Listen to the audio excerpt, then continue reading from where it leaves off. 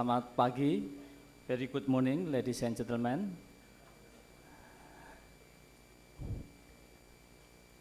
I think last night we already discussed some and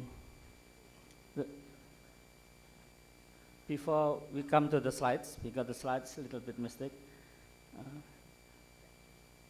first, I would like to thanks, and it is my honor to be invited here in the very prestigious uh, forum. And it is very important because this will also lead to what type of AHS in Indonesia in the near future. Next slide. So, ladies and gentlemen, as also mentioned by uh, Professor Steve Smart, that actually the indicators of the successful of academic system is how the academic system has transformative leaders who able to change the culture and behavior. That is, I think, it is very important. And this is in line with the strategic planning of Ministry of Research, Technology and Higher Education in 2015, 2019, that actually the university is not only as the agent of education, agent of research, but also agent of cultural development. How to develop character and culture. How to change this culture. So it is really in line what uh, Professor Steve already mentions this morning. And not only, of course, to build the culture is not easy because we need the values and need internalization in each of our staff and our students. So, and also agent of economic development. This is the function of university in the in, in currently. So therefore, the main perform, performance indicators is the innovation, employment, industry, and so on and so forth. And innovation, for example, there are many innovation now, but the problem is sometimes the innovation is not recognized or not adaptive or that is not in the market. That is the problem. But Gadjah Mada University, especially Faculty of Medicine, now producing uh, some of uh, innovative uh, medical tools, which is considered and uh, working together with some parastatal company, which can be uh, produced in high economic scale. Next slide.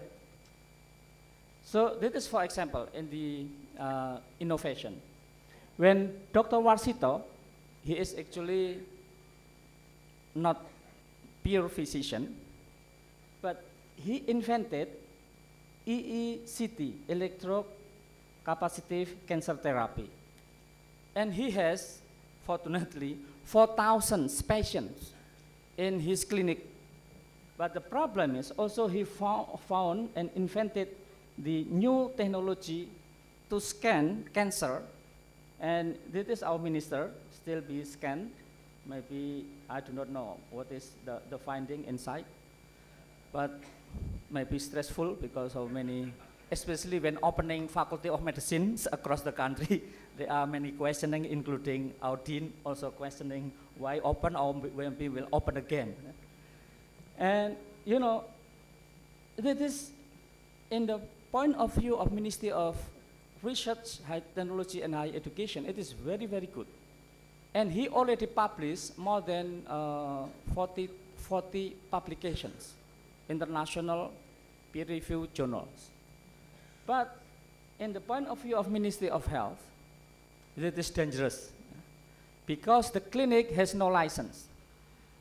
Therefore, the Minister of Health then closed this clinic and uh, they are debating. Next slide. Again, also national competency exam for medical student.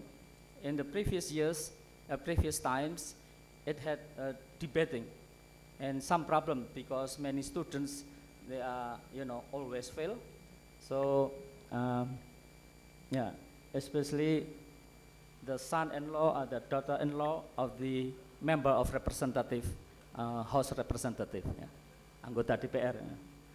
Next slide. And you know, previously, the lecturers, dosen-dosen from Ministry of Health, was not recognized by Ministry of Higher Education. Because there's different ministers. So those who are from Ministry of Health, doctors or lecturers, although they are teaching, giving teaching learning process, maybe 24 hours a day, it is not recognized. It was not recognized. But now uh, we recognize. Next slide. Not only rec recognize, but also now we give some type of policy. Not only we recognize, but even if there are pensions already, then we open the system, they can propose for promotion to be the professors. So professors now is easy, actually. So those who are not yet professor, please propose to be professors. Otherwise, kalau nanti sudah musim sulit tiba, kami tidak bertanggung jawab ya. Mumpung, mumpung musim mudah ya. Again, the problem of primary care physician. Uh, we call it DLP. DLP, I think all of you already know, or maybe all of you confused. I do not know which one. But this is debating up to, to the Constitutional Court. So the IDI, the Indonesian uh, Medical Association, just tried to, you know, judicial review.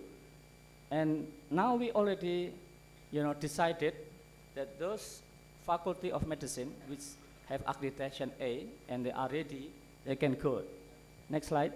But the problem is it is still not recognized the DLP. So there's a little bit problem. So when we are, again, talking the health system, especially academic health system, the important is the integration, and we all know education, research or training, teaching, re education, research, and uh, services. So again, because of that problems, as I already mentioned, we, together the Ministry of Research, Technology and Higher Education and Ministry of Health, we are developing a joint committee. And this joint committee, the aim is also similar with academic health system, which is to improve the health of the population. So that is, again, our, our, our aim is to improve quality of education, research, and health services in order to improve the health of the populations. Next slide. And definition and mission statement, I think I will not explain this because it is already uh, many times we heard. Next slide. So this is the example, the organization with the local context, academical system with practice plan, then teaching hospital, university community, and collaborative practice, collaborative here, even in the workforce, and we use interprofessional education, not only interprofessional education, but also as center for technology development, innovation. Next slide. Now, this is the example of University of Indonesia. They already uh, developed like this. I think Pak uh, Ratna atau Pak Akmal can present it. But the, what I would like to mention here, in the future when we are already you know, establishing academic health system, the problem is, and we have to challenge this, in PKM, um, Puskesmas, primary healthcare centers, these doctors, especially these doctors have to be improve their competencies, and if they improve and they are involved in teaching learning process, the problem is, and if they want to be included in an IDECA, and they want to be promoted to be professors, then how many? And what are the requirements? You can imagine how many doctors are here involved in one academic health centers. I think for me, in Ministry of Higher Education, it's easy. I will say, yes, please process it, and please promote it up to professors, But the important thing is one thing. I do not want to pay. So you should responsible for yourself. This is only one what I require. So I think easy, simple, and doable. Next slide, please. And also in uh, Gajah and sekitarnya, and the surroundings, I think the principle is almost similar. So actually in Gadjah Mada, we have uh, DLP and GMC, Gadjah Mada Medical Centers. The concept is really what is we, we, we discuss about DLP. The problem is only why GMC is not optimized, utilized by Faculty of Medicine, Universitas Gadjah Mada. So I hope that in the future, this can be managed by Faculty of Medicine. Because the time when we design, actually we are designing for primary healthcare doctors in the future type of organization, where the promotion prevention, which mentioned also by Pak Laksono, that is very important and should be practiced, should be implemented. Because now, in my opinion, when we are talking about promotion prevention, it is just discussion, mostly a discussion, not really in the, in the implementation. Because why? Because it is not clear. When they are doing promotion, who will do it, how they do it, and who pay it. The last one is very important. Who pay it and how much? Of course, payment is not, you know, principle, but it is important. Yeah, as the pension, it is very important as the energy. Now, after BPJS already established, the curative is clear. When you are doing in primary healthcare, there is capitation. How many your members per members is clear. In hospital also clear. INA-CBGs, how much to pay, although the payment is a little bit lower than what we expect. But it is clear. Also clear low. Not clear if we pay using yen, yen or no, that is not clear. But we use rupiah. So I think everything is clear. Next slide. Now, that is the uh, uh, stage of development of academic system. First, of course, we have to have consensus building, commitment among stakeholders. And all mission have to align with the mission to improve the health of the population. And at least we can have together strategic planning together between Faculty of Medicine and the hospitals, teaching hospital. Ladies and gentlemen, actually we as the joint committee with Pak Akmal and uh, many teams, members, Pak Slamet here, we already uh, have conclusion that at least there are two types, at least, two types of AHS, academic health system. First is academic health centers, which is minimum consists of two institutions, Faculty of Medicine and Teaching Hospital. So that is, we call it academic health centers. Then if this can be developed to the satellite hospitals, to the Puskesmas, health centers, then we develop the system, then we call it academic health systems. Then now we have the policy that each of you with your local wisdom, you can choose which stage of development of your academic health system, and we will support it. So again, regulation is very important here. Then synergy and integration phase of education, research, health services management system, how the operational guidelines. Now the team is still trying to formulate, but I think in each of the uh, organization or in piloting uh, case, they can develop their own, but we as the national level, as mentioned also by Pak Pratikno, how not only in the local, but regional, provincial, and also national. The system should be clear, how these all are in line in terms of uh, guideline, regulation, and also the payment. Organizational structure, integrated recruitment, procurement system. You can imagine, if nationally we procure, uh, kita beli obat, ya, so the price should be lower. But actually now with e-catalog, the bargaining is in the national level. The, in the local, no need for bidding, they just buy it. So the cost should be lower. integrated financial management system is also mentioned by Pa- Pratikno, and also ICT system. So this can be started in each of the uh, academic system. And the implementation, we encourage start from functional integration first. How we have commitment and strategic planning together between Faculty of Medicine and the hospital, teaching hospital.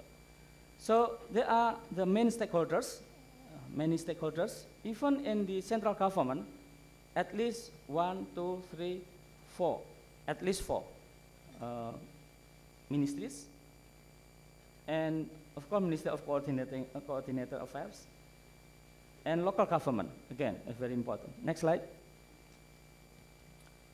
Yeah.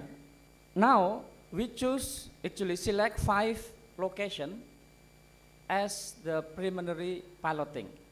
But this is still open. If, for example, like UB, Universitas Brawijaya, if the participant also from Brawijaya, also can uh, join. But firstly, uh, we would like to, you know, uh, include this five first, five perspective as model in Indonesia. Unhas, UI, Unhas for the South Sulawesi region, UI for Jabodetabek region, UGM, I think there is also Central Java and Unair, East Java, UNPAD, but Central Java I think also can develop their own if uh, possible. So at least these five. Next slide. And these five, we already encourage, I think in the near future, to choose what is your central theme, what is your central of excellence. So like in Groningen, for example, the central theme is productive and healthy aging. So how in the, uh, the, the aging part, productive and healthy. How was the pediatrician? So in pediatrician, they can also develop the gene, how the aging process is can be, you know, engineered still from the beginning, from the early stage. Then harmonization, again, harmonization culture and among institutions is very important because each institution have their own culture, have their own regulation. It is not easy. It is the challenge. And multi-sectoral regulation, it is, again, not easy again. Integration, human resources, finance, procurement, and consensus building. So again, we would like to encourage first the integration in terms of functionally integration. Next slide. Now, this is the benefit. Of, of course, there are many, many benefits when we are developing academic system, but we cannot discuss one by one because of time. But one I would like to present here, the, the, the benefit is publication in the institution will jump into high and higher. Because those who are in the hospital is recognized and also can be used for the uh, promotion and also in the Faculty of Medicine. So therefore, and we, if we look in the ASEAN, based on the Scopus uh, index, number one, the highest is Prof. Lukman from Malaysia. So Malaysia is very high, 25,330. Number two is Singapore. The question is why Malaysia is higher than Singapore? I do not know. Maybe Pak Lukman know. Pak Lukman do not know. I do not know also. But I guess one of the reason is first, the number of lecturers in Malaysia is much bigger than in Singapore. And they are productive. In Malaysia, if I'm not mistaken, associate professor, which is equal to lector kepala, at least two times every year they have to produce journal. Is this right, bro? Right. In Indonesia, even only one, they're complaining. so, if we consistent with the reason, because the number of lecturer is higher, Indonesia is much, much higher, and it is not consistent, the result. Yeah. 5,499. So therefore, now we have policy. If you want to be the professor, at least to be the prime or the first author or corresponding author for the peer review international journal atau jurnal bereputasi. Nah, sebetulnya kami ingin untuk Q3, tapi orang-orang sudah mulai um, keberatan, ya. terutama di UGM. Ya. Kalau UGM saja keberatan, saya merasa wah ini berarti keberatan ini di tempat-tempat lain akan lebih berat. Nanti ya, kebetulan belum kami tanda tangani, ya. tapi sebetulnya di tim sudah kami setujui. Nanti ya bisa kita cek lagi. Nah, dengan kebijakan itu for this policy, what is the result? Next slide. The result is amazing. Indonesia is the top in ASEAN. Suddenly jump. Why we jump? Because the others we is higher than Indonesia, we already deleted. Udah kita hapus yang lebih tinggi dari Indonesia. Sehingga kita juara. Yeah. Actually, but that is not really joke, but it is real. Yeah.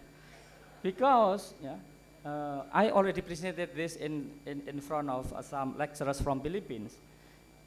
Vietnam, you know, in the past also already overtake Indonesia and Vietnam.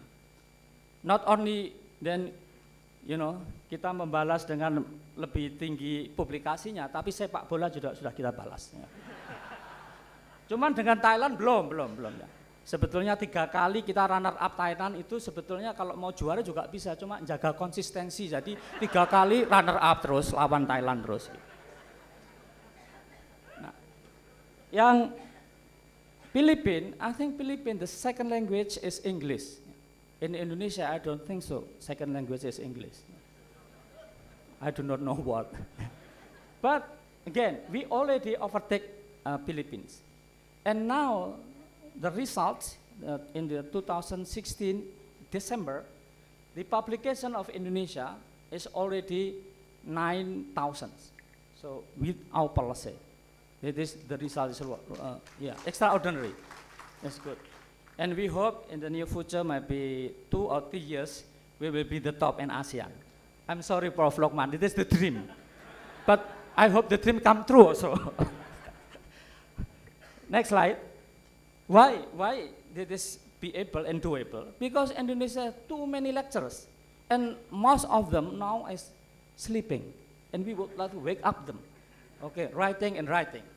So if you are to be professor, my you know uh, requirement is that you have to be productive and again to write. Because when I meet one professor, ketemu salah, satu profesor, saya tanya, loh kenapa pak kok tidak seaktif dulu nulis? Enggak pak, nyari profesor susahnya setengah mati. Ini kami nikmati dulu gitu kata. Jadi leha-leha gitu ya. Jadi nah, therefore now we already have a paper, jadi surat peringatan sudah kami kirim ke pimpinan-pimpinan perguruan tinggi bahwa profesor kalau tidak produktif ya, tahun 2017 akhir, ya, ini sekarang sudah 2017, kami berhentikan atau uh, kurangi tunjangan kehormatan profesornya. Ini mohon maaf paling banyak nggak setuju nih Bapak Ibu sekalian. Setuju atau tidak? Wah, pasti bukan profesor yang keras tuh. Setuju. Gitu. Kalau profesor saya lihat diam-diam saja. Baik. Okay, we, next, this is the way forward. Strengthening the evidence-based policy for academic system development through need assessment and academic paper that will be fundamental basis in formulating national mission statement as well as to develop alternative model for academic system that's suitable for Indonesia. And of course, we will uh, make little bit, you know, accommodate to the local wisdom and uh, local uh, creativeness. Benchmarking of academic system model from another country is also very important, and Malaysia already did it in UKM already. Not only, you know, integration, but also the directors, if I'm not uh, mistaken, also to, to be integrated. It is uh, really amazing. Consensus building of expert group, stakeholders for development, strengthening the alignment among stakeholders, especially for the alignment of the vision, mission, to improve the health of the population, formulating national guidelines, and now we are working on that, accelerate the uh, accomplishment of government regulation as legal basis for academic system development. Government regulation, we already have. Uh, and then for the technical regulation regarding academic uh, health center management, presidential decree So therefore, I think Pratik is very important in this case because we hope if we have presidential decree and the clear jobs and tasks among the ministries and also other stakeholders. So what are the, the job? and What are the contribution? It should be clear. Otherwise, uh, difficult. Then support the piloting of five prospective academic model. Uh, again, that is still open. So if some of you are very, you know, interested to develop, then and because if commit, we have to really do it. Next slide. The last slide, I think. Uh, ladies and gentlemen, I think this figure is important. Why? Because many person here is important person except this one. Yeah. Why it is important? Because this person not only managing the universities in Sweden and all in the, uh, you know, uh, big universities in Sweden, but this person are actually the committee of Nobel selection for the medical uh, Nobel Prize. And therefore, ya saya dekat-dekat siapa tahu orang Indonesia kalau mau ngajukan ya saya bisa ngubungin lah gitu. And the, this year, I'm sorry, this year, last year, 2016, one of the Indonesian is, was already uh, proposed to be, uh, you know, uh, receiver of the Nobel Prize, but unfortunately not yet successful. But it, it was. Then the winner is the professor from Japan. Uh, he found the autophagic, autophagia cells. What important here? I said to them, this is the importance of academic health system, how to integrate together and working together and collaborations. So I, I talked to them, I know that you are globally well known, but without any signing with Indonesia, MOU with Indonesia, I don't think so, you will be complete. Nggak akan sempurna tanpa kerjasama Indonesia gitu ya. Loh kenapa? Because in Indonesia, we have many type of diseases that you do not have it. Ya. Apa pun penyakit kita punya ya. Bahkan schistosomiasis ya, yang sudah hampir punah di dunia, we still have it. Apalagi kalau cuma flu burung ya. Flu burung udah kita banyak lah. Di Jerman baru terakhir ini ada flu burung. ya. Bahkan saya bilang juga waktu itu kurang lebih 8 bulan yang lalu. Now we are debating about Zika virus. In Indonesia we already found it in Jambi. Sehingga waktu Singapura kurang lebih dua bulan yang lalu pada bingung, eh, we already used to ya, kita udah biasa lah gitu ya. Jadi nggak bingung. Nah, singkat cerita ya, setelah kami jelaskan, sampai flu burung aja kita punya punya laboratoriumnya di di tadi Pak Nusron ya. Surabaya ya BSL 3 itu sampai seat untuk eh, vaksin flu burung. Di tempat-tempat lain jarang itu Pak perusahaan flu burung karena burung belum tentu datang ya. Itu jarang betul, betul. WHO cuma ter- tertentu. Indonesia punya. Singkat cerita kita sampaikan begitu, ya, mereka tertarik ya, already signing MOU and already send 65 scientists to Indonesia. So that is the, the result. So therefore, again, collaboration is very, very important. I think that is all, and thank you, and hope that you will work uh, harder and harder in the future. The academic system will be really established in Indonesia. Thank you.